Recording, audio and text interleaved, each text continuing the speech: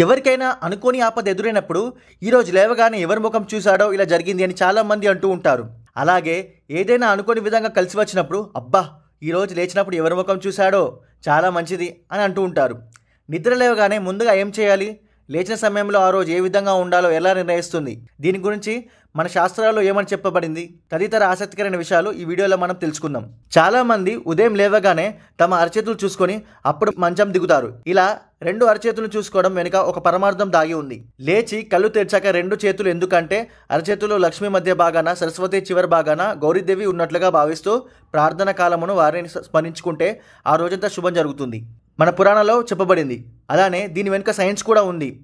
మన శరీరంలో నిరంతరం విద్యుత్ ఉత్పత్తి అవుతుంది. నిద్ర లేవగానే ఎప్పుడైతే మన అరచేతుల్ని చూసుకున్నామో కంటి ద్వారా బయటకు వచ్చిన విద్యుత్ మన అరచేతుల మీద ప్రసరించి తిరిగి మన శరీరంలోకి వచ్చేసి న్యూట్రల్ అవుతుంది.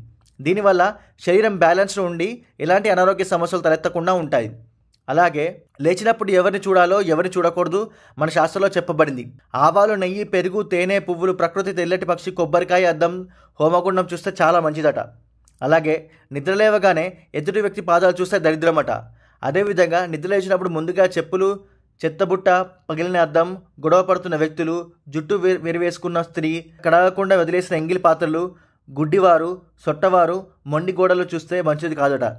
మంచం మీద నుండి కిందికి దిగుతున్నప్పుడు ముందుగా భూమాతకు నమస్కరించుకొని అమ్మ నాకు నీ మీద ఆవాసం ఏర్పరచుకోవడానికి అవకాశం ఇచ్చావు.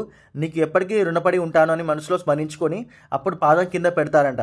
అలాగే బ్రహ్మముహూర్తం అంటే తెల్లవారుజాము మూడు గంటల ముప్పై నిమిషాల నుండి ఐదు గంటల మధ్యలో నిద్ర నిద్రలేస్తే చాలా మంచిదంట.